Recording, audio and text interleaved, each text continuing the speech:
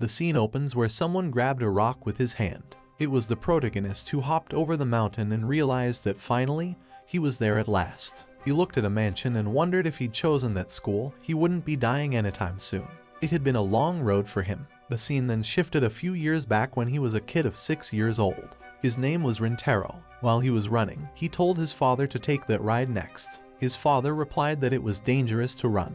As Rintaro reassured him that he was fine, suddenly his head hit a girl's melons, and all his ice cream fell on them. She exclaimed, it's so cold. His sight went to her melons, and he got completely shy, unable to utter a single word from his mouth. Right after, his father came running to them and said, I'm terribly sorry. The girl replied, I'm perfectly fine. Then, he told Rintaro to apologize, but he realized Rintaro was sitting on his knees, feeling very uncomfortable in his chest. The next scene shifted to the hospital. His father asked, is that Henisai-Tashli Iju syndrome?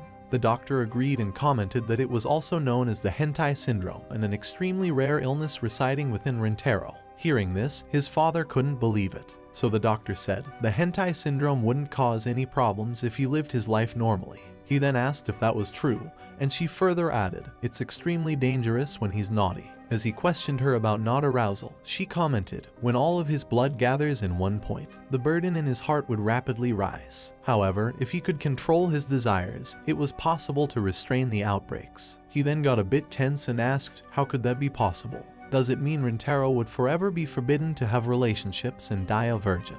The doctor replied, I'm afraid that, at the current level of medical knowledge, that's the only way. Right after, she faced her laptop and told them, wait a moment, if I remember correctly, I have some more detailed information. Rintaro then got so excited and high that his father pushed his face down and stated, that was a close one. You should be more careful. Rintaro replied, I was stupid. I'm so sorry for that. Afterwards, while his father was carrying him over his shoulder, the doctor exclaimed, I'm terribly sorry. I'm sure Rintaro's life will be full of hurdles. His father declared, she might be right. However, if someone knows the way, it's easy to jump over those hurdles, and I will teach him that. The scene then shifted near a forest. Rintaro questioned, where am I? His father answered, We're in the deepest part of the forests of Mount Fuji. It's called the Quiet Shore. Nobody knows it, and it's the place where I used to train when I was young. He told him, We need to stop those outbreaks of the hentai syndrome at any cost. Rintaro agreed. Then he said, You'll need a heart that won't move, no matter what, the skills to be able to act in any situation and a body that's able to carry them both. By saying all of this, he meant about the skills to clear his mind and a silent and serene heart. That's what he would need. But Rintaro got confused, so his father exclaimed, It would be harsh, but it's all for your sake. Suddenly, Rintaro got excited and commented, I have the resolve. I want to become a strong man, a man like my own father. That's what I've always thought. Later on, Rintaro started his training to clear his mind and make his heart a silent and serene heart. He lifted up a big rock and threw it so far, then started practicing to balance his body by standing on top of a small rock and maintaining his whole body balance by using just a single hand. As his father then declared that he could only say that he had mastered the skills he had learned when he would be able to use them in school and his everyday life. The scene then switched to a footbridge where Rintaro was walking up the stairs with his friends and one of the guys asked him if it had been a while, and if he was still camping with his old man to which he replied that he could say that. Suddenly, a group of girls came there, an army of Gravure sisters from high school. As one of the girls commented that it was a burst of eroticism right off the morning, and one of the guys wondered if he might bump into those melons by any chance. Rintaro commented that he was right as he thought about a melon touch by any chance. He clarified that it was absolutely outrageous and it would be a disaster if they touched each other when they passed them so he decided that he should first calmly take a few steps back and then wondered about a pincer attack. He looked at his surroundings and started focusing on clearing his mind with a silent and serene heart. Then he made the use of crow-style branch keep so he could hide himself from the girls. He thought in his mind that he would avoid all forms of eroticism, and that was how 10 years had passed by clearing one's mind completely and obtaining a silent yet serene heart. That was like a full moon reflected in the surface of a blue pond. It expressed stillness and that meant a silent and serene heart to clear one's mind. As his father then announced that it concluded everything he could teach him and he did a good job enduring those 10 years, on which Rintaro replied that it was all thanks to him and he extended his thanks for training him that long. Hearing this, his father commented that it was all thanks to his own skill as it was all his skill that made him master the art of Koi Koisaugetsu, and he further added that he was not to be arrogant as no one knew what would happen, to which he agreed and stated that he was always right as he would be below that beautiful moon. So he then made a promise to his father that he would never touch women or let them touch him and clarified that it was the promise of womanliness. He further declared that he would keep that promise until he died.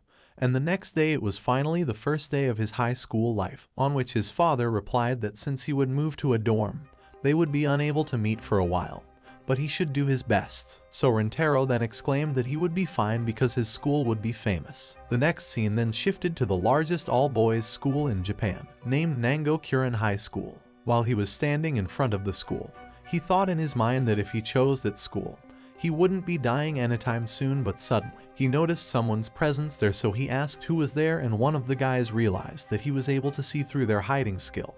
And it was not bad to which Rintaro agreed and replied that he also saw their feet. As he then further questioned who they were, the guy replied that they were freshmen and his name was Kusuk while another guy was Tamao. After listening to it, Rintaro introduced himself to them and stated that he was also a freshman.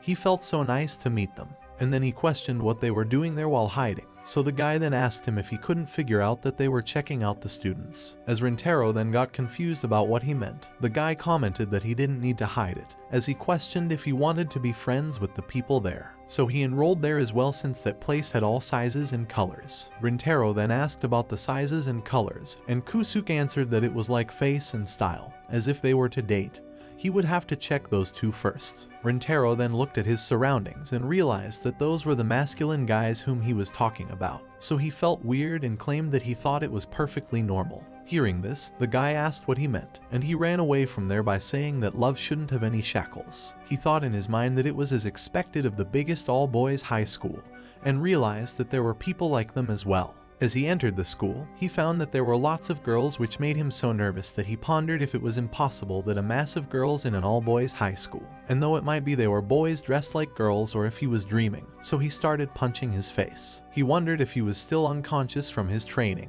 and then his nose started bleeding because of his own punches, and he felt so tense that he thought why those girls were there. Suddenly, both the guys came and carried him away from there, as Kusuk then announced to not just suddenly stop functioning, and Rintaro replied that there were girls, on which Kusuk commented that of course there were as Nangokuren sounds like it would be an all-boys school, but it used to be the biggest all-girls high school in the country since it became co-ed that year. He further mentioned that over 99% of the students were girls, and after listening to it, Rintaro couldn't believe his ears, as he then realized that he misunderstood as Nangokuren sounded like a muscular name but it was not actually an all-boys high school, so he thought if he had put himself in a tight spot, and then he pondered that he completed the entry and he should commence the transfer. So Kusuk then exclaimed that those two were finally going to fight. As one of the girls then questioned another if how many students did she think that she had hurt, and she answered that it was of no matter how strong her enemy was because if there were students being hurt, she would fight to protect them and she would fight without any regrets. Hearing this, the girl smiled and started to not make her laugh as the strong ones would eat the weak ones and that was the law,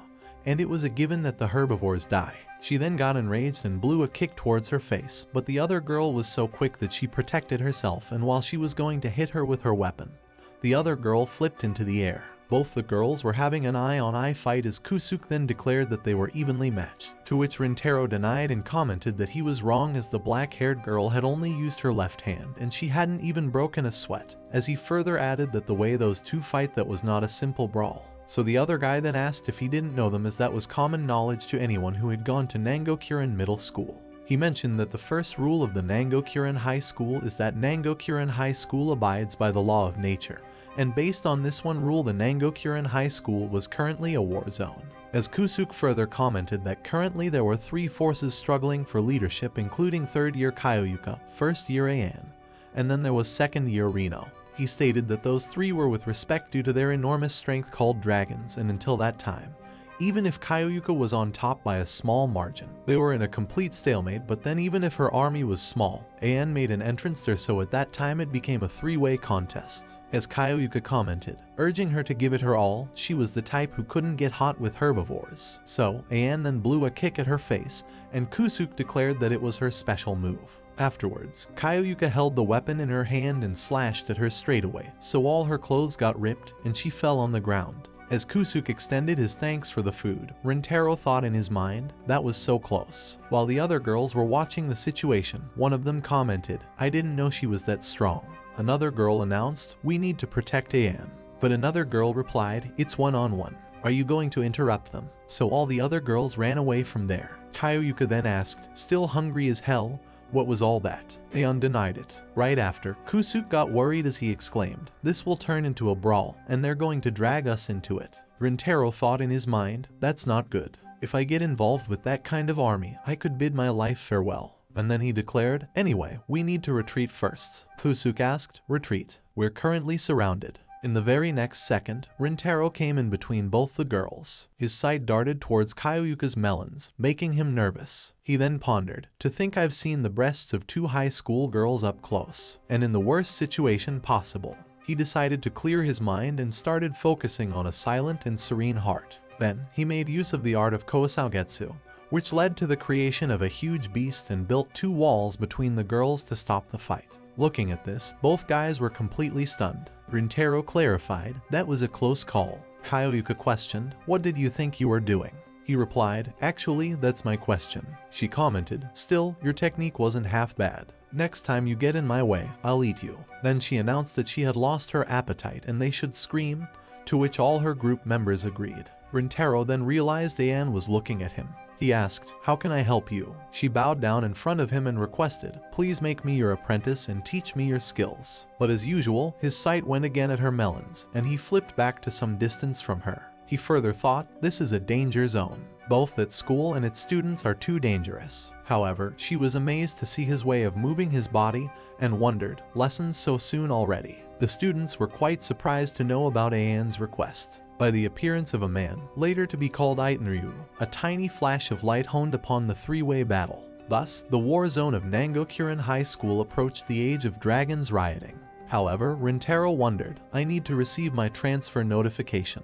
The scene then shifted to the classroom, where Rintaro thought in his mind how could that happen, as the situation he most feared actually happened, and he could hear it coming closer as he further clarified it as a definite demise of his life. He pondered that he didn't have the time to get a transfer notification, and then he peeked and realized that there were girls everywhere he looked. He thought that a pack of girls, a flock of girls, a herd of girls, a lot of girls, so Ayan called him his master and asked him if he was feeling bad, to which he replied that he was not her master, and further wondered that there were girls when there were, and ultimately he got confused. He pondered that the situation was too dangerous, and rather than bad, it was more like he wanted to get far away from there. In Jigokuren High School, there were three certain girls who were revered as dragons and fought for hegemony along with their community, further mentioning that those three were the best of the best. After a while, a lady came into the classroom and she announced to the ladies that she welcomed them to their school, and she was their homeroom teacher, Akina. She commented that the school was full of problems, but they didn't easily award those who did their best, so she suggested they try not to be too lazy. And then Ayan called out the master, so Akina asked her if she was Sensoryu Ayan,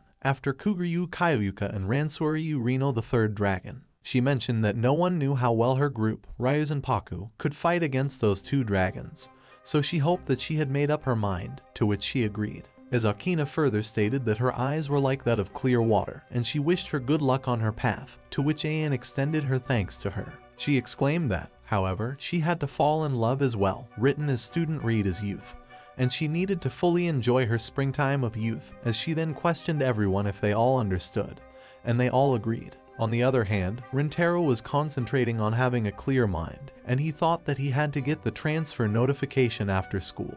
But first he needed to survive the first day, so he focused on a silent and serene heart. Anne then called out to him and said that he couldn't accept it after all, her apprenticeship. But she found that he was not there as he made use of his special skills, including Roin no group and Reikusaku. Looking at his skills, she realized that he was so fast that nobody was noticing him and he asked where he was. Suddenly, a girl threw a huge rock at her, but she jumped away from there to protect herself and the girl announced that she was full of openings and that was why she should prepare herself. And then the girl took out his sword and tried to slash it at her, but she held it with her hand at once and clarified that it was enough. So the girl told her that she saw, and she was happy to know that she didn't neglect her training over summer vacation. To which An replied that she had sharpened her fangs as well, and then a dragon formed out of nowhere which she called him as Makoto. As the girl mentioned that she was not satisfied at that level and she was Ryuzen Paku, the sub-leader, Turutsutri, Makoto, whereas the other girl was Ryuzen Paku's second sub-leader, Gauhian Keiko. An then got a little angry and told Keiko to not bring huge rocks into the school, to which she replied that she thought it was just the right size to throw at her, and there didn't exist a rock that was just the right size to throw at someone. She further said to forget about that and let's hit lunch, to which she replied that it was not even 10 o'clock yet, as the time between breakfast and dinner was all lunch. Hearing this, Keiko started to at least join her for the 11 o'clock meal, to which An commented that she suggested she quit that one meal per hour lifestyle. She then replied that she was still growing, and Makoto questioned if they had done with their comedy, so Keiko stated that it was right, as An was aiming to be a stand-up comedian after all, to which she completely denied. Afterwards, Makoto exclaimed that she heard she went and became someone's apprentice, so she further questioned what she was thinking. And Keiko also had the same question as she did it without even talking to them first. And then An answered that Kaioyuka's claws were sharp, way sharper than she had imagined, and suddenly her sight went at Rintaro, so she said sorry to them as she needed to go. Makoto told Keiko to let her bathe, as she shed two drops of sweat, on which she replied if not again or if didn't they just bathe that morning. So she answered that she would feel gross if she didn't wash the sweat away, and besides, she loved baths. Hearing this, she got a bit angry that she said even more than a certain Shizuka-chan they knew and further asked about An. To which she replied that they couldn't overturn something she had already decided, as she then commented that it might be true but she must have had a reason for that apprenticeship but they needed to see for themselves if that man had what it took to be respected by An. The scene then shifted to Rintaro, who was feeling so tense due to his current situation, as he questioned why did she want to learn from someone like him so badly, and these sayings were heard by An, who was hiding behind the wall, as she then answered that she didn't know what objective was but she has no intention of taking disciplines. She declared that she couldn't lose and for the sake of that school, for the sake of everyone in Ryuzen Paku she definitely couldn't lose. As Rintaro then questioned about couldn't lose or if she meant against the Kaioyuka, so she mentioned that both Kaioyuka and Reno had immeasurable strength. As she further added that those two were a large wall in front of her and she needed to go past that wall using her own strength. And then Rintaro thought in his mind about a large wall and the need to surpass using one's own strength. So he exclaimed that he could understand a little but asked if still she hadn't other options like talking or mass transferring as running away was a fine choice as well.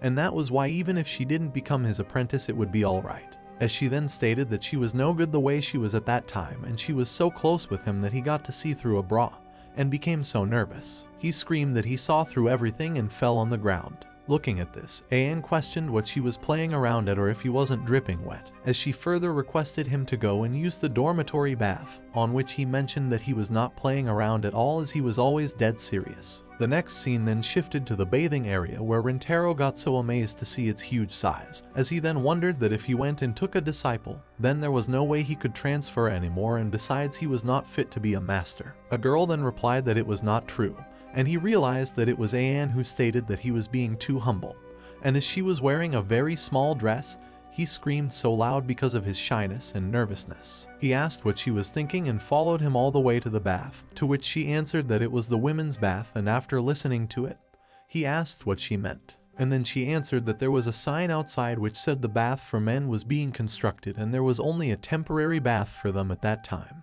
as Rintaro then commented that it was retreating while prostrating, and she exclaimed that just because she wanted to be his disciple, it didn't mean she would follow him into a bath, to which he agreed that she wouldn't. So he wondered if what the heck was he doing, as there were easier ways to commit suicide, and of course, there was no way that she had bathed together with a man. And then he thought about her sayings, and after reaching a certain conclusion, he announced that she failed and he was just testing her because as a disciple. Normally she needed to wash the back of her master, and if she couldn't even handle that kind of skinship, she failed as his disciple. So she then questioned about that kind of skinship, and he replied that she couldn't, and at that time she would have no choice but to give up. In the spur of the moment, she started scrubbing his back with the towel and declared that her family was full of men so she was used to seeing naked male bodies, as Rintaro then realized that he completely dug his hole even deeper. An further asked him if he would accept her as his disciple, and he pondered that he still hadn't broken his promise of not touching any girls as there was a towel between them so it was safe. He wondered that it was the worst situation that he had been in his whole life so he thought how he should escape from there. And suddenly he saw her through the mirror, and got so nervous that he stood up and his cloth got removed from her body. So he started running and declared that it was not good and he couldn't take it anymore as 10 times he had seen immodest figures of females and one time he had shown immodest figures to females so overall his fortune for today was murderous. While Makoto was entering the bathing area with Keiko, she said to her to not bring food into the sanctuary or anything behind her. Both of them were completely nude, and Keiko commented that it was already 11 o'clock so she needed to eat something and she was going to wash that and place it at the school gates. As Rintaro was moving outside, he realized that tiger women were ahead and wolves behind, so Makoto then questioned if there was a male, and their sight went to Anne who was having tears in her eyes and she said that eels were scary. Afterwards, both the girls got mad and they started attacking Rintaro as she then questioned Anne what he did to her and she told him to stand up and clarified him as a piece of trash. She stated that they didn't even need to confirm it before finding out that he was garbage on which he replied to them to wait up as he was so worried and nervous because of a mixed bath with three high school girls and he really wanted to have a break as he then closed his eyes and wondered that his chances to run were zero so he started concentrating for a clear mind and a silent and serene heart. But Makoto exclaimed that even if he closed his eyes, it was not too late and then Keiko started attacking him. Makoto mentioned that he had made two mistakes including one was dishonoring and another was defiling the bathhouse, but Rintaro was so focused in his mind that he wondered reading his opponent's moves by feeling the stream of air and vibrations produced by breathing and movements that was the art of Koi Saugetsu. Makoto then declared that he was running on water and Keiko got so surprised to see him that she asked if he was a sage. He performed his skill of Gandao Suids that Keiko clarified was not bad and that was only the beginning. In the spur of the moment, both the girls fell down on the ground and they got completely wet as Makoto then mentioned that Guy was no normal water and every droplet hit her vitals that she couldn't move. And then Anne declared that besides there was another reason that Master used water to attack them so that he wouldn't harm them as she further added that he had a mentality which allowed him to care for his opponents and a physique which made it possible as Rintaro then pondered if he could open his eyes already and she claimed that he was an individual they couldn't even hope to beat. Makoto commented that she would admit his strength, but she was still full of energy, and suddenly the hot water came out in a huge volume from the pipe. As Rintaro then thought if his move just destroyed the pipe at that time. He announced to watch out and all the hot water fell on the back of Ayan. So all of them started screaming at her to move from there as she would get burned.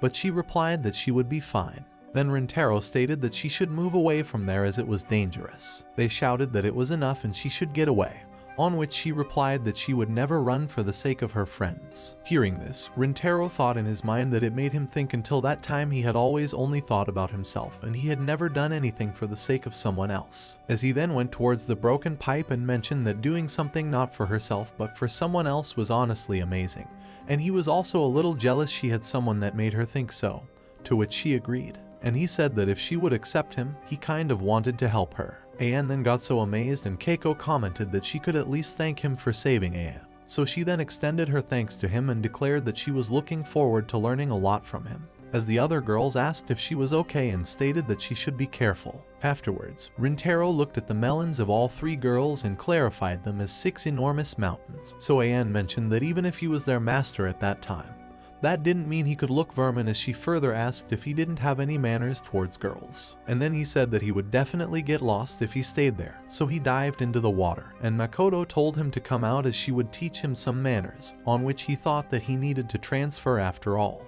The scene then shifted to the boys' room where Rintaro thought that his daily life was full of dangers, feeling relief when the day ended and anxiety when another started. He was having a feeling that his self-defense instincts told him not to get up, and he was thinking why did he accept Keiko. Right after, she came to his bed and wished him good morning but as her melons came in front of his eyes, he covered himself with the sheet. He exclaimed that no more morning and no more anything as his head was so full of no notes that he didn't notice her. All three girls were standing there, and Anne declared that she was hoping to learn from him starting that day so Keiko commented that the training or whatever they should get it over with and hit the cafeteria, on which Makoto replied to take a bath first as the day wouldn't start without a good bath as Keiko then told her that the day must start with breakfast, on which Makoto told her to take a bath to open her eyes as a Japanese person should be given, and then she declared that she was first and questioned if they didn't decide that with a push-up contest. So Anne looked behind her and realized that Rintaro wasn't there as he stuck himself with the wall of the room like a spider, and she was quite surprised that she asked where he was. As Keiko then mentioned that if she kept screaming, the disciplinary squad would come running to which Makoto agreed and said that it was like she thought as the disciplinary squad had been moving suspiciously lately,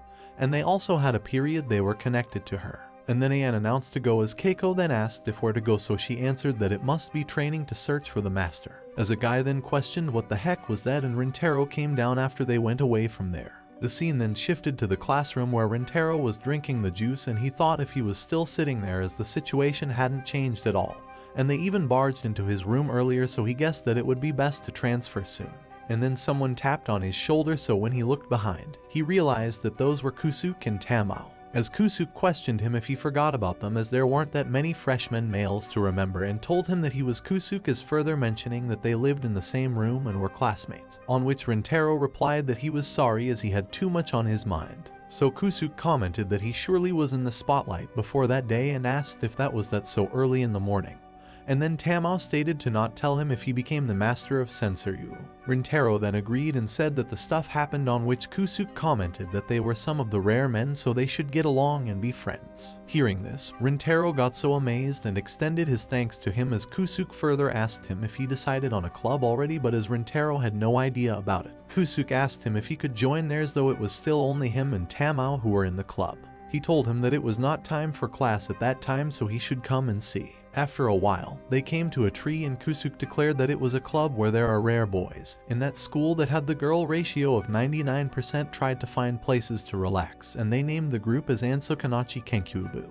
As he then further added that for that time they had succeeded in researching 48 different spots, and then Rintaro agreed with him and said that it was pretty relaxing out there. So Kusuk told him to have a look as an even better view of relaxing. The so-called oasis of one's heart could be seen over there, and when he looked at it, he realized that it was a changing room for the girls where the girls used to take off their clothes there. Kusuk then exclaimed that it was what he could call a superb view if anything.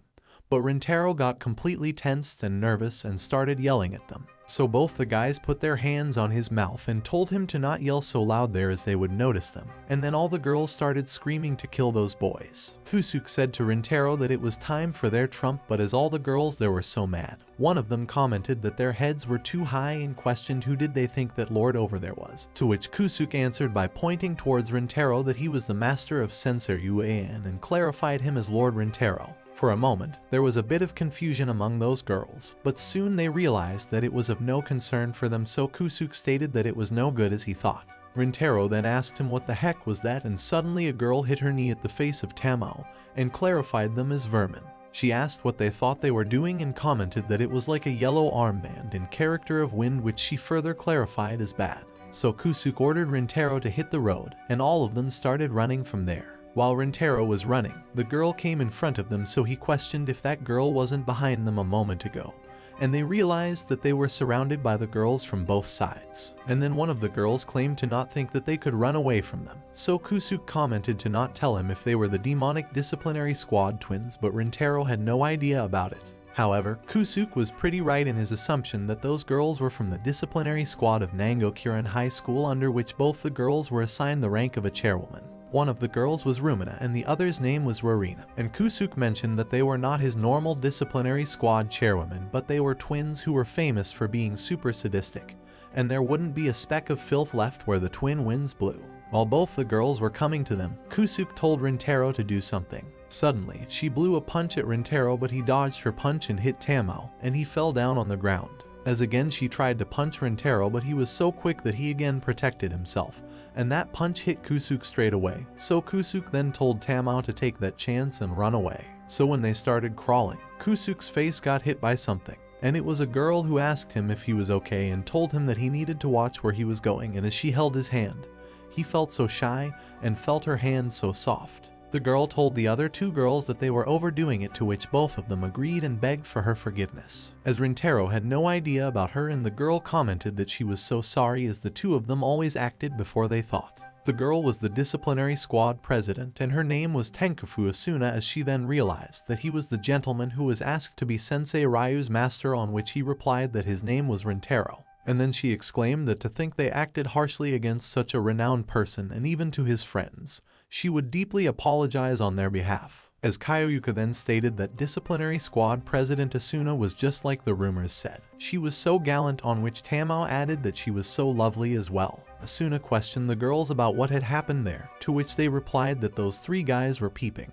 Rumina further commented that she was terribly sorry, but if she could ask them to follow them to the gymnasium as they would carry out the investigation so Rintaro then questioned about the investigation and the Asuna replied that there was no need to worry as all they were going to do was have a small chat. Hearing this, both the guys got so excited that Kusuk declared that he would follow and chat all night long. So Rintaro thought in his mind that they were so easily moved. The next scene then shifted to a big auditorium where a huge crowd of girls was there. Rintaro was quite surprised to see the crowd, and Tamao asked if all of them were in the disciplinary squad. Afterwards, Rorina declared that they would start the investigation at that time, so all the criminals were to step forward.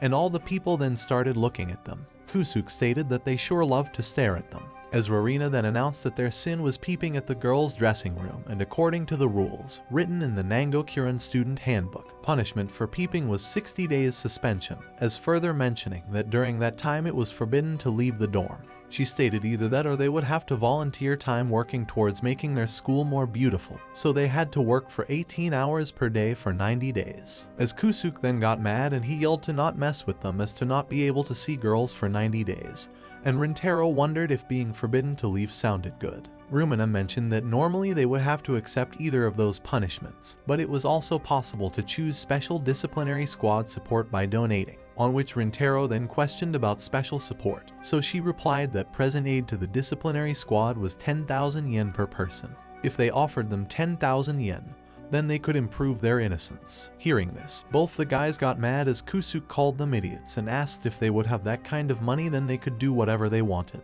As Rintaro then thought in his mind that he was not going with the flow on that so the girls took the swords in their hands and told them to not get cocky. Both the guys started walking from there as Kusuk declared that all they wanted was money, and Tamao replied that he would go home. Both the chairwomen lifted the guys with their swords and asked if they would accept the special support of 10,000 yen.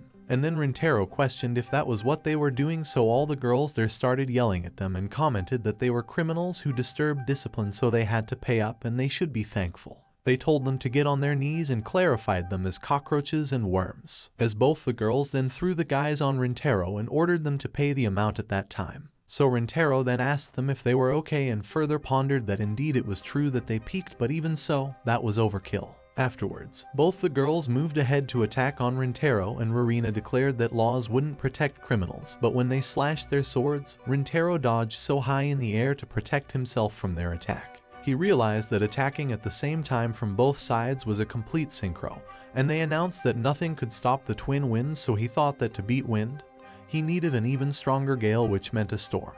And then he made use of his skill of Rukja Koi Saugetsu, and made a tornado of winds which threw them on the floor and ruptured all their clothes. As Rorina then questioned if their wind was overpowered and Rintaro took off his blazer to cover their bodies. He mentioned that no matter how strong the winds blow, his discipline wouldn't be disturbed and then Rorina was blushing when he went away from there. Afterwards, Asuna came there and got surprised as she asked if what on earth had done that and asked both the girls if what exactly were they two doing. She went near them and commented to not tell her that they were trying to extort money again, to which they replied that they were terribly sorry. Rintaro then questioned if that was unauthorized and all the other girls were so amazed to see Asuna and then she asked the guys if their bodies were alright or if the girls hurt them. So Kusuk then agreed and told her that they told them to pay 10 grand and Tama while crying further added that she said they would only talk and they would do nothing. After that, she put her hands on their cheeks and exclaimed that she was really sorry she then further asked if they couldn't forgive her, to which Kusuk fully agreed and Tamal mentioned that she looked best when she smiled. As she then replied that both of them were so kind and since she was very happy, she ordered everyone to gather around the stage. She took off her school dress and took a mic in her hands, and then started singing, which made all the students so amazed and excited. But Rintaro thought in his mind if disciplinary squad president, as soon as real form was an idol, he wondered about Asuna, as if why was she dressed like that and if what the hell was happening. While Rintaro was noticing his surroundings, he realized that things were heating up. Then he looked at Kusuk and Tamao, after which he thought if wasn't everyone acting a little strange. Both Kusuk and Tamao were looking too weird while they were applauding Asuna, so Rintaro thought in his mind if he was the strange one there. It was Asuna's sweet chocolate disco which made both the guys so excited and high. Asuna then announced that at that time they were moving into merchandising and she ordered everyone to get up one by one. But all the guys had no idea what was happening. She declared about 86,000 yen in all and extended her thanks as always to Kusuk, on which he replied that if it was for her, then he could do 12 part-time jobs a week. Hearing this, she exclaimed that he was doing so much for her and if he worked that hard, she was going to fall in love, and then he told her that he was going to increase it to 16 times a week. Someone then announced about 67,000 yen in all, and Rintaro commented that he could hear awesome amounts of money, and Kusuk asked Tamao about how much money he was heaving as he was having 300 yen with himself. And then he further questioned Rintaro about how much money he had, as Tamao told him to try jumping a little. Afterwards, both the guys presented her a pick, and Kusuk said to her that he was sorry but that one was all the two of them could afford that time, as he further added that for some reason they were a little short today. So Tama then mentioned that normally there would be over 2 millions, and then Asuna went close to the pick and kissed it, as she then claimed that it was okay as she was very happy about their feelings. As both the guys then got so high after listening to her, and the girl announced for the next person, on which Rintaro stated that he also didn't have any money, whereas Kusuk and Tama were fighting with each other for the pick, as Kusuk told him that it was his pick as he had 100 more than him. So Tama replied that he got it and he should at least let him to lick it first. After a while, the girl called out Rarina and Rumina and whispered about something in their ears. So the girl then declared that the product selling ended there and ordered everyone to disperse at once. In the spur of the moment, the auditorium got empty at once, and then Anne came running as she said that she was too late, and she couldn't catch them red-handed that time either. And then she noticed that Rintaro was standing there, so she asked him if he was there, to which he replied that it was nothing much and the disciplinary squad caught them. She then questioned him if he was alright, or if they took his money, and if he fell for Asuna, to which he answered that she was always a little too close as he was okay, but those two completely fell for her. Then Kusuk questioned why there was no one there and if where Asuna was. While Ayan was describing the disciplinary squad president, Rintaro declared that he already knew about it, and then he ran towards the guys announcing to them that it was all part of the president's plan. To which Kusuk agreed and stated that someone sure had planted some good melons in that body. Rintaro then denied to him and told that he was being serious there, and they shouldn't take it for granted. Hearing this, both the guys got a little angry as Kusuk questioned him if all he wanted was to have Asuna only for himself, and Tamao exclaimed that Asuna was all his own only. Rintaro then got tensed and he denied by asking for the reason, but both the guys while fighting for Asuna went away from there. Kusuk mentioned that he would leave for a trip to earn some money, and Tamao stated that he needed to find some work. Afterwards, Rintaro was feeling bad as all his memories were reflecting in front of his eyes. Ayan told him to not feel down about that, and then he asked her if he had to go to meet that president. She replied that she believed it was the disciplinary squad room. So he then declared that he would go and have a little chat with her, and she requested to let her show him where it was. All this scene was being observed by Kusuk and Tamao as he then realized that they were going to the disciplinary squad room and Tamao added that he wouldn't let him steal a march. The next scene then shifted to the corridor where Asuna entered into a classroom and Rintaro with Ayan were running towards her. But as soon as they entered the room they realized that there was nobody.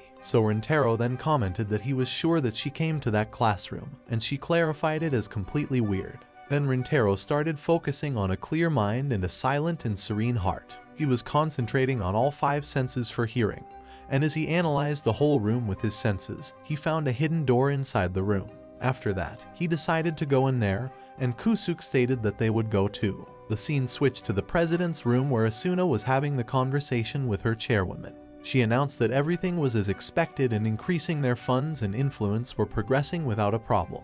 The whole plan was that firstly, Rumina and Rarina harshly attack and she would kindly help as the combination of them, three sisters, was making others kneel so well it was almost funny. She further added that they made contact with the male thought to be the master of Sensoryu, so they would without a doubt make him kneel to them as well. Right after, Asuna had a call on her phone where someone asked if that was the case and clarified her work is too good. She replied that the words were so kind and she extended her thanks for that as she then told both the girls that next they would make the master of Sensoryu, Rintaro, kneel before them as the value of that man was tens of times that of those other pitiful students. And then suddenly Rintaro came there and declared that it would never happen. Asuna then questioned why he was there, and he replied that as expected of Sensoryu's master he would have her explain everything to Kusuk, Tamao, and other students as well. Hearing this, she asked what he meant, so he answered that there was no need to play dumb.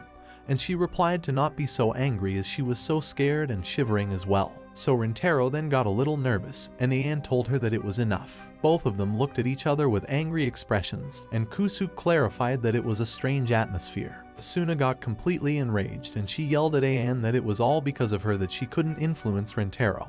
And she was not fit to be called a dragon so that title should be for herself. She called out for Rurina and Rumina and ordered them to use the skill of three bodies, one soul. But Rintaro got so nervous as cleavage was happening while it was three against one and he wondered if he couldn't look at any of them. They used the skill of Fang of Triple Wind to make an attack on Ayan, but as they threw chains to catch her, Asuna realized that she was not there. Then Ayan told her that to be crowned as a dragon she would need resolve. She declared that dragons didn't exist alone and for the sake of her comrades who believed in her. The feelings of those comrades one by one would become her scales and give shape to her final form as further mentioning that the name of dragon meant that she had to carry on the feelings of her comrades. She questioned if she had the resolve and attacked on the wall near Asuna's head which then completely cracked the wall.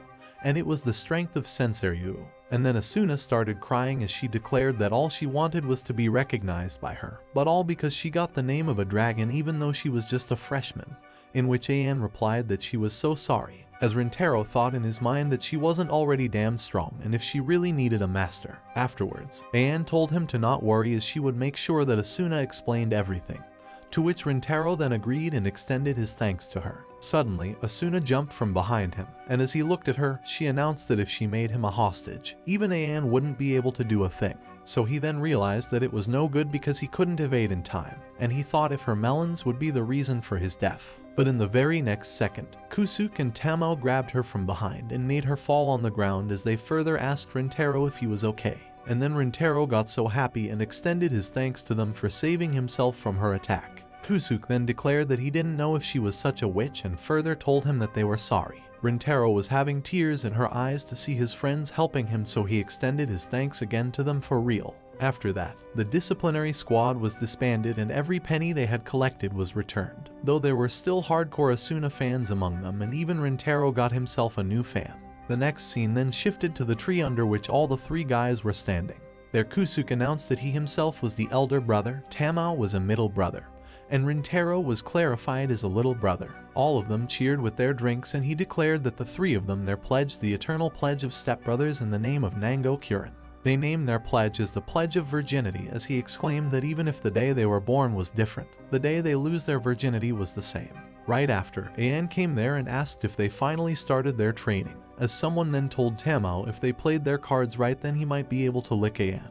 The scene then shifted to a girl who was standing on a bridge and a few of the girls came there to tell her about Asuna that she had lost. The girl mentioned that as they thought, they shouldn't underestimate the power of Sensoryu and also that man who was supposed to be her master. Afterwards, Ransoryu took out her phone and deleted the contact of Asuna and she commented that Asuna's defeat was all within calculations and she had never expected anything from her. Ransoryu was one of the three dragons and her mate stated that she guessed Asuna wasn't part of their army from the beginning. So another girl then questioned if to beat Kyuzuryu and Sensoryu how they should move as the girl then answered that only a dragon could fight with another dragon either that or someone who had powers equal to a dragon, to which Ransoryu added that it meant a tiger, and then the other girl asked about the tiger and the girl who was once called the strongest of Nangokuren. She exclaimed to not tell her that she was coming back to which she agreed, and that girl's name was Hatenkomeru who was among the various beasts that could shake the school. Later on, while Rintaro was sitting in the classroom,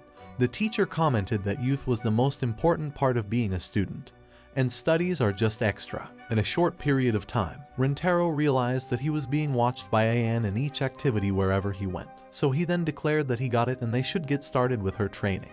Hearing this, Ayan extended her thanks to him and stated that she was looking forward to it. The scene then shifted after school in Nangokuren 10th Land Sports Field where Rintaro was standing with Ayan, and he exclaimed to get started. But a few seconds later, he got confused about what to say at that time. So he then wondered that he had never taught anyone before, so he didn't know what to do. And then he asked her what she wanted to learn again, to which she replied that it was the secret of his strength. And then he mentioned that the secret of his success was called Ryua Koi Saugetsu, or in other words, self-control over her mind and soul. He exclaimed that she must clear her mind and keep her heart silent and serene. So she repeated the same thing again and he agreed by saying that she needed to calm her heart and once she found peace in both mind and body, she would be able to project the techniques of Shinrabanshu. Afterwards, Rintaro focused on a clear mind and silent and serene heart to flip in the air so high by hopping over the rock. Looking at him, Ayan started clapping for him and he declared that the technique required the balance of both mind and body so they should firstly start with the body, to which she then agreed. He suggested that she should try climbing up and down 10 times while pointing towards a rock, on which she replied that she would do it. After a while, when she was climbing up the rock, Rintaro's sight went below her skirt which made him very nervous and tense. He exclaimed that her life would be in danger if she underestimated training, and after reaching the top of the rock, Rintaro mentioned that there were five more to go for it, to which she replied that it was her fifth and that the place was much safer. Rintaro's sight then went to her chest and he got completely nervous, so he said that there were two mountains at the top and a tiny piece of cloth at the bottom. And then he ran away from there by saying that it was too much for him. The scene then shifted to the city-side location where Rintaro was walking and he wondered that becoming someone's master was something he couldn't handle, and besides he was with a girl for a long time who knew what might happen. While he was walking, his sight went to other girls on the road which made him a little frustrated so he then came to a game land. When he entered the center, he felt so nostalgic as he thought that he would go to those places because there weren't many girls there. In the spur of a moment, his sight went to a game which he clarified as a new version of Butcho Butcho. He mentioned that he was pretty addicted to it back in middle school, and they called him Butcho Butcho Rintaro back then. Afterwards, he decided that he should check out, so he went near the game where someone announced that it was a 20 chain combo, and the other questioned if it wasn't a 15 chain combo the maximum possible, and the guy answered that incredibly his best was a 15 chain combo. Right after, it was the next guy who asked why he didn't try to which the other guy denied by saying that he couldn't beat her so the guy questioned if there were no more challengers. And then Rintaro came to the game and someone announced that there was a hero. The game was quite competitive as the people there commented that both of them were pretty fast and it was an even match to which someone added that the challenger was being pushed. Looking at this, Rintaro wondered if the player was really good, so he started focusing on a clear mind and silent and serene heart as someone then exclaimed that the challenger just upped his speed and it was such an incredible fight. The other guy then got completely surprised to see Rintaro's skills as he asked if a chain combo at the same time and a draw or if that was even possible. After a while, Rintaro's sight went to a red hamster and someone called out it as Keto so when Rintaro followed it, he realized that it was a girl and he thought that she was still a kid, so he guessed that it was okay and it should be safe. The girl told him that he was pretty good and he really scared the crap out of her and not only that his attitude changed in the middle of their fight so she further questioned if why didn't they try out some other games as well. And then they went to play different games where she got very crazy in some of the games. Both of them were so happy to play so many games and then while they were walking through the streets, the girl commented that Butcho Butcho was her favorite game so she was pretty confident but it had been a while since she wasn't able to win. Hearing this, Rintaro got shocked as he asked about being a while, and stated that she sure was pretty good at games so he then answered that she played 20 hours a day. And then Rintaro pointed towards something and exclaimed that those straps on her cell phone were the game characters if he was right on which she replied that it wasn't a cell phone and then she showed him that those were the video games which she was carrying with herself. As Rintaro got amazed to see those game machines and he declared that she sure liked them a lot so she answered that she also uploaded some of her gameplays into a website, and it was a site called Kamitazen, but since he had no idea about it, she mentioned that speaking of Kamitazen, it contained game OK videos of players with expert skills and she learned her Butcho Butcho skills from watching those videos and one day she would become the god of the gaming world. He replied that it was a pretty big goal and he heard of a similar phrase somewhere. Just after some of the bad guys came there and one of them called them out as a lovey-dovey couple, and the other guy then mentioned that it was their goddamn reserve bench so he questioned why the hell were they sitting on it without their permission.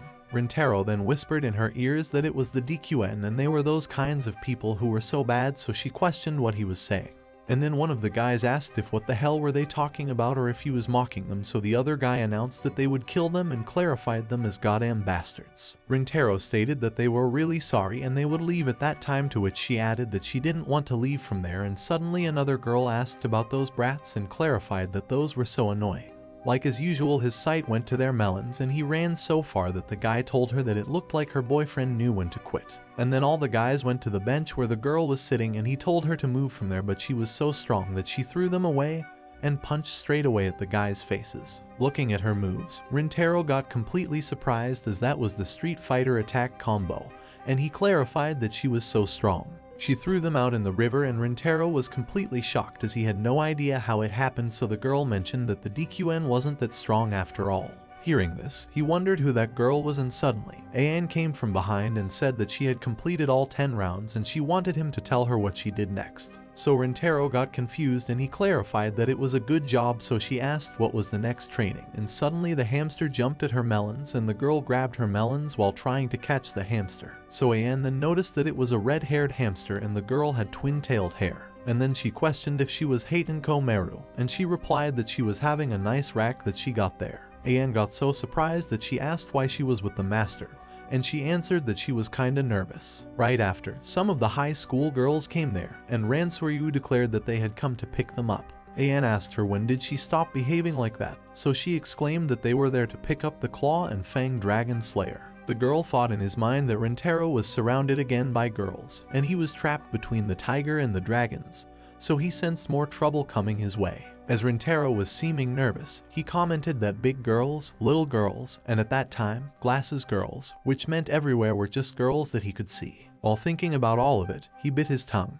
Ransui Ryu announced to Sanga of the Dragon Slayer that they were there to pick her up, and Ayan asked if they were there to pick her up. Rintaro was feeling the situation to be tense as he wondered about glasses, eyeglasses, and goggles spectacles, and thought if that was the eyeglasses anthem as Ransoryu moved her hand forward and stated that at that time as agreed, Meru was to fulfill the covenant of Hagen. Since she was being caught between the dragons and the tiger, that was a sticky situation for her. All the girls were standing in front of Meru, and Rintaro pondered that if things got dangerous then he would just grab all their eyeglasses and run away while they couldn't see. But suddenly he realized that eyeglasses were part of their faces which equated the equation of eyeglasses were girls too so he thought if that meant he couldn't touch or hit eyeglasses as well. In the spur of the moment, a large crowd of crows came in the sky, and the other girl commented that there were way too many of them, to which the other girl agreed. Then she told them to look as they were lining up in a row, and she stated that they were coming from the school. While they all were looking at the sky, she announced that there was something coming,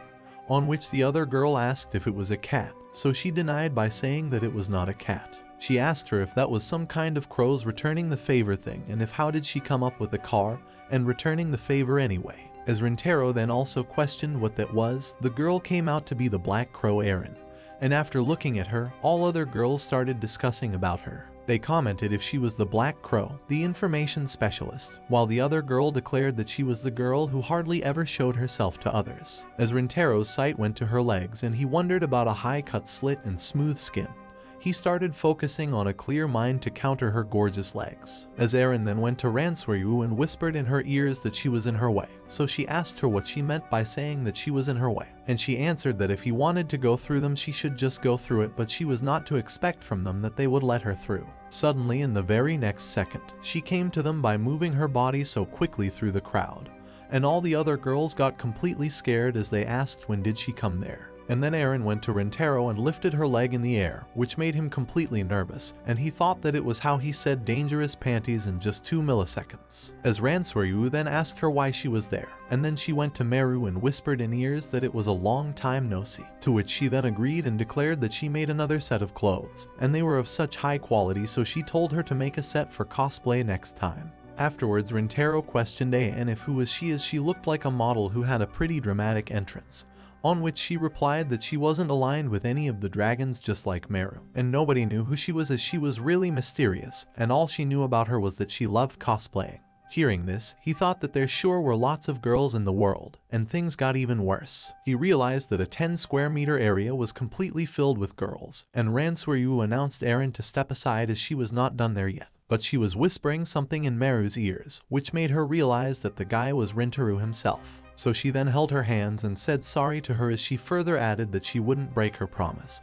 But whether it be games or life she wanted to enjoy it fully. She pointed out Rintaro and stated that they would pair up with him. She then asked him if that was okay for him, on which he asked what she meant, and she answered that he was pairing with her and they were partners. So he then asked what did she mean by partners or if that was like Akayoyusen and further questioned about partnering with a kid or if that was about a game and then she declared that she was 18 years old, a third-year Nangokuren student, and he could tell by her bone-filling appeal. Rintaro then smiled because he was not in his own senses and he exclaimed that he saw 18 years old and that meant she was 2 years older than him.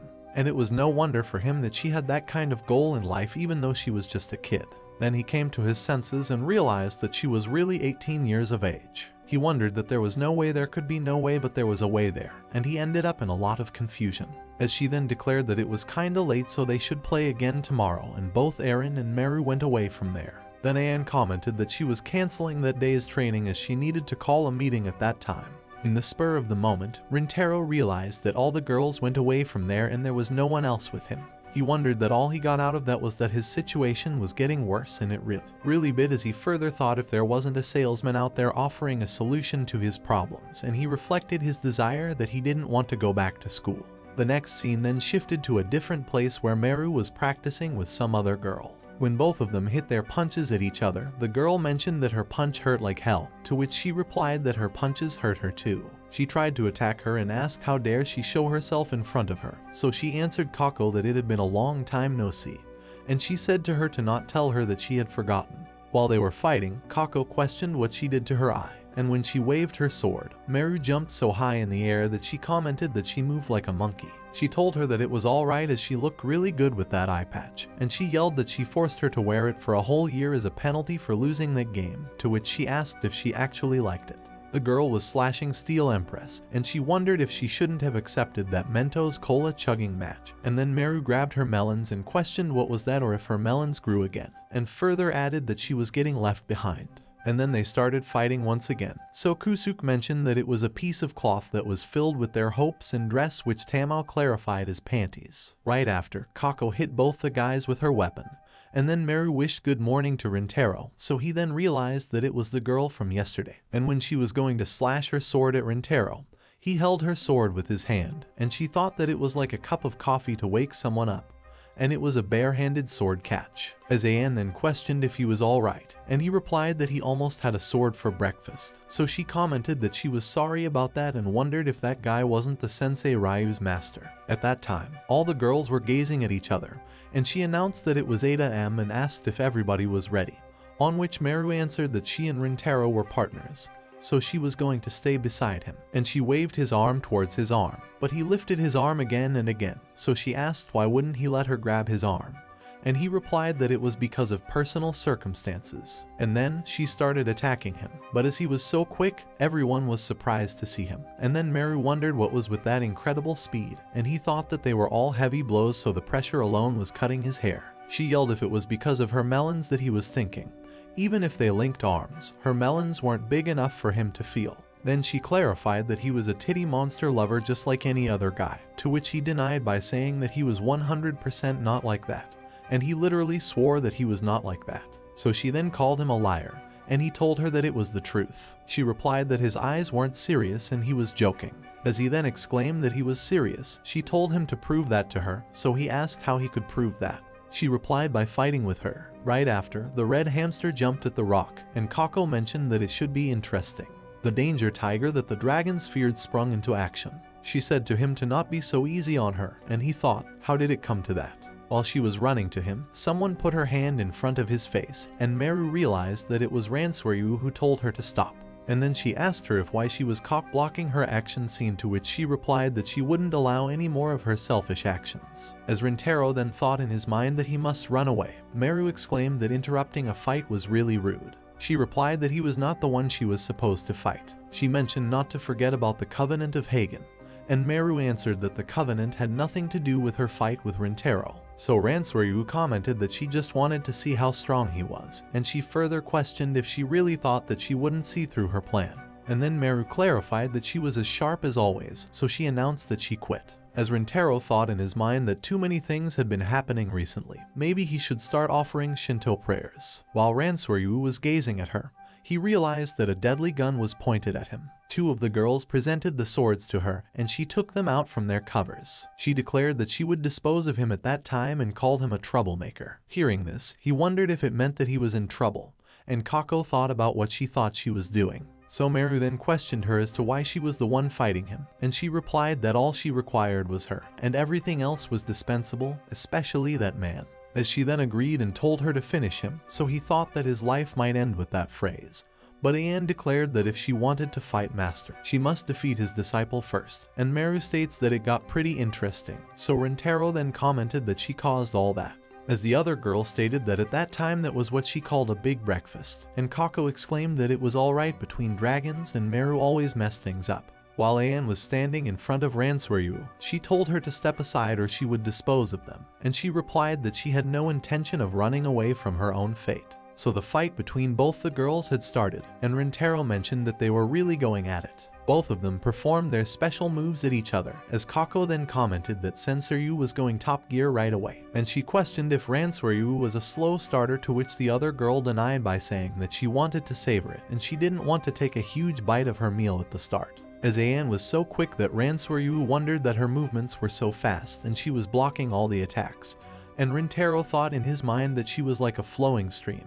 Afterwards, Meru declared that he was pretty good and told Yamada to give him a cushion but as he had no idea if what she was talking about. So she claimed that in short, Sensoryu was speed, Kuguryu was power, and Ransuiryu was technique like he said Ransuiryu was just like water. She mentioned that her defensive style constantly changed and adapted like the flow of water, and her attacking style was as powerful as pressurized water cutting through a diamond. As he then commented that Ayan's movements were a bit slower than what he saw the last time, and she told him that she hadn't seen Sensoryu at full throttle yet. In the spur of the moment, Ayan started moving with more speed, and Meru announced that she had increased her speed. Within a second, she created her different images around Ransuiryu, and Rintaro clarified that it was impressive as using raw speed to attack from all directions. Her opponent wouldn't be able to fight back because she had no choice but to defend against all the attacks, as further mentioning that the problem of using two swords is the lack of defense in the weaker hand, so if that kept up, as Meru then stated, he would break through the defense of the weaker hand, is what he was thinking, and she further added that Reno couldn't be defeated that easily,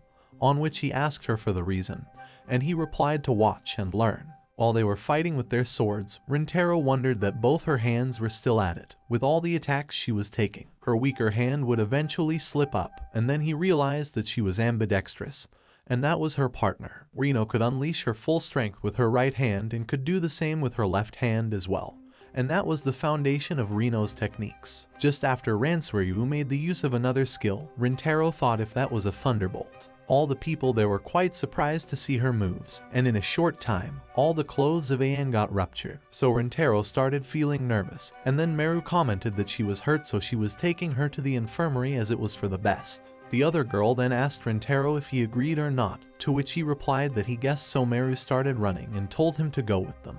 Tamao questioned what happened at that time, to which Kusuk replied that lots of girls were there so there was no need to follow them, and then the other girl commented on how kind it was and asked if she held back or not. She further questioned her if she hadn't heard that lions used their full strength even when they hunted rabbits. So Ransuiryu then answered that she knew. But if the rabbit was too small, a lion would lose its motivation. Hearing this, she asked if she was waiting for her meal to grow up and commented that she was so clever that she thought she was losing her touch as she really was a dragon after all. And then both the girls went away by saying to give her brain a rest once in a while and Kusuk realized that there was no one except themselves. The next scene then shifted to the infirmary where Meru said sorry to Ayan as all that happened because she wanted to try fighting with Rintaro, on which she replied that it was okay as she was an opponent that she would be facing eventually after all as Rintaro then questioned if why did she want to fight with him in the first place, so she answered that it was to fulfill the covenant of Hagen but since both of them had no idea she explained that it was a year ago back when Kaioyuka and she were second years and Reno was a first year. The situation there was way more serious back then but there was one person who came very close to supremacy at Nangokuren, Genteryu Ren, who was Ransuiryu Reno's big sister. She mentioned that she came to that school as an outsider, but as she really enjoyed fighting, she thought she would find worthy opponents there, and after defeating all the first years, it soon became obvious that she would be facing Ren who was said to be the strongest of all. The scene then switched to a year ago when Ayan was having a fight with Ren and both of them were standing in front of each other. As Ren then noticed some sparkling thing in her pocket, she asked her if that was the golden Trichi, to which she agreed. And then Rintaro questioned about Trichi if it was the one from that shoot them up game, so she agreed by saying that it was such a godly game. She asked her if she liked it, the game she meant, and she replied that she didn't hate it as it was just that the game was really hard. But that was what made it so good she guessed. And the Tritchy characters were kinda creepy but it looked kinda cute up close. She further asked Anne if that wasn't the golden Tritchy which she could only get by winning the world tournament, as further mentioning that she never thought that she would get to see it. But it was not that it made her happy though, so Meru then exclaimed that she really loved it. And then Ren states that it would be a shame if that thing got scratched, so he replied that she would postpone their fight for that time and she could show her that thing again some other time. From then on, Ren and she became really good friends, and they had a very good time while playing with those things. Afterwards, she declared that Ren had that really weird habit that once she got even the tiniest rip on her clothes, she stripped and changed immediately, as she then started laughing and questioned how many clothes she had. Hearing this, Rintaro wondered if she was a dangerous errorist, and it was a good thing that she was no longer there. And then she commented that some time later Reno came to that school, and by then she and Ren had divided the school between themselves. And on the day before Ren's graduation, Ren told her to settle that once and for all, to which she agreed and declared that they should take that fight seriously then. After having the fight, when they both got tired, Ren asked her if she could do a favor, so she questioned if what was that. And she replied that it was about Reno, her little sister, on which Meru questioned if she commanded the first years. Ren commented that she was very devoted to her ever since she was a little girl, and she always looked up to her even during her fighting days always. But all she cared about at that time was power. She declared that her goal was to rule Nangokuren, so the two of them would eventually battle one day. But when she was all alone after reaching the top, the view from up there wasn't worth anything. She told her that she learned after she met her, but she would be gone by next year, so she wanted her to understand the lesson she learned back then. And then she gave her something by saying that if she accepted her request then she should take that as proof of their pact.